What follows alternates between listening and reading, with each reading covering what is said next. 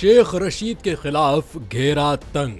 बानी पीटीआई और शाह महमूद कुरैशी के बाद अब शेख रशीद की भी आने वाली है बारी। वादा माफ़ गवाह भी तैयार। शेख रशीद की सजा के हवाले से सीनियर सहाफी और एंकर पर्सन जावेद चौधरी ने इंकशाफ किया है कि तहरीक इंसाफ के सबक रहनुमा सदाकत अब्बासी ने शेख रशीद के खिलाफ वादा माफ़ गवाह बनने का ऐलान कर दिया है। ये ऐलान उन्होंने रिहाई के बाद किया था, लेकिन अब उनका कहना है कि वो गवाही देंगे कि 6 मई को लाल हवेली के अंदर एक बैठक हुई थी, जिसमें ये प्लान बनाया गया था कि 9 और 10 मई को क्या करना है। जावेद चौधरी का कहना था कि आने वाले दिनों में सदाकत अब्बासी बहुत बड़ा धमाका करने वाले हैं, क्योंकि उन पर सिर्फ़ एक केस नहीं है। उन्होंने कहा कि जब सदाकत अब्बासी दूसरे केसेस में भी अपने बयान देंगे तो बड़ी हलचल होगी, क्योंकि ऐसी गवाही सामने आएगी कि उससे पीटीआई का चैप्टर ही बंद हो जाएगा।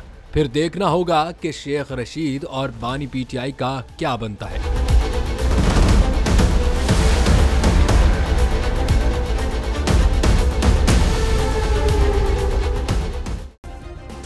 सब्सक्राइब करें और बेल दबाएँ ताकि कोई खबर रह न जाए।